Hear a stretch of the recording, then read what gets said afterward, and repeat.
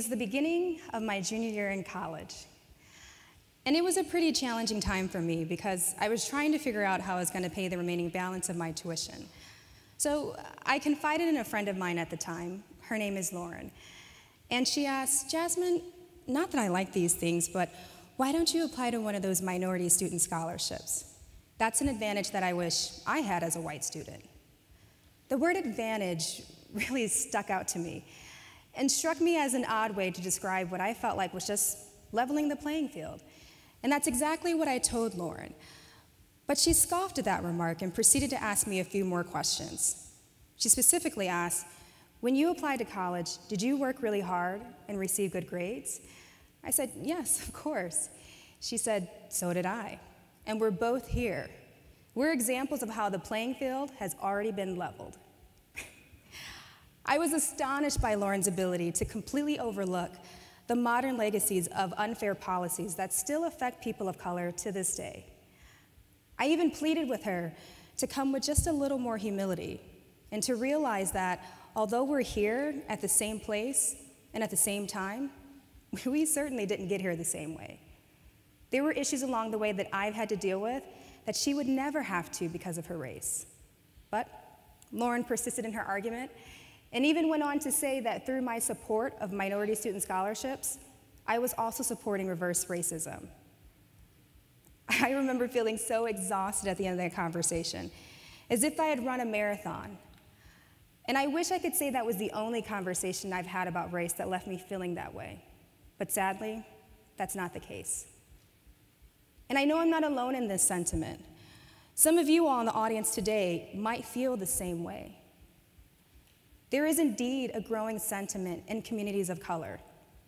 Some of us are getting tired of talking about race because of some of the responses that we receive that range from dismissiveness to colorblind rhetoric that's used to trivialize our experiences.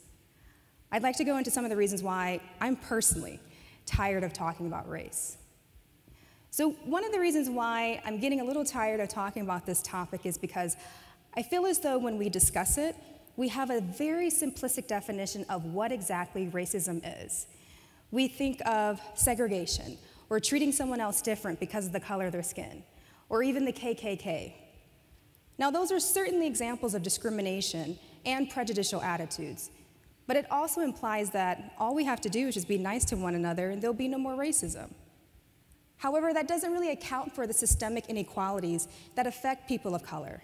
So instead, what I'd like us to do is reimagine racism as an umbrella term that not only addresses those particular situations that I just talked about, but also a system of advantages and disadvantages highly influenced by race. So this has to include both structural and institutional racism. Take, for instance, a current example of structural racism in our country, the racial wealth gap. White American families have, on average, $934,000 in wealth. Now, compare that to Hispanic families who have approximately $191,000. And African American families are at $138,000 in wealth.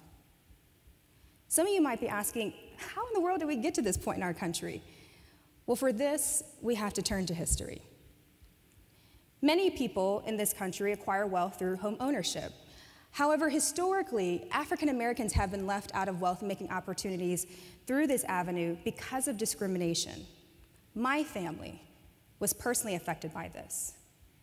My great grandparents, they moved into predominantly white areas back in the late 1950s, early 1960s.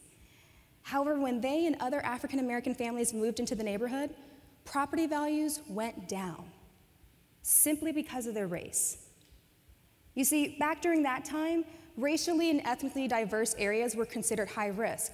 And to be honest with you, to a certain degree, that's still the case to this day. So, this not only affected their ability to accumulate wealth at the same rate as, let's say, a white family did during that time, but also their ability to pass down that wealth to their descendants in order to give them a head start in life. Another reason why I'm tired of talking about race is because individuals overwhelmingly turn to people of color to educate them about this topic, which can be emotionally exhausting. This expectation is perpetrated in the assumption of who is supposed to fulfill roles related to race in various institutions. Take, for instance, diversity inclusion programs. People of color are frequently charged to lead some of these type of programs and initiatives. Now, I'm certainly not going to criticize a person of color who has a genuine interest in ensuring that these conversations are had and that these programs are implemented effectively. But what this does is it takes the responsibility off of white people to engage in these issues and places it mostly upon people of color who are actually dealing with racism every single day. It also creates this assumption that people of color are automatic experts on the topic of race. And I actually have a personal connection with this. So last October, I was presenting at an academic conference on a panel discussion. And uh, there was a journalist who followed up with us in an email. So one of the panelists introduced me as Jasmine Roberts, who specializes in the areas of race, diversity, and inclusion. Yeah, um, I teach communication. Whoops.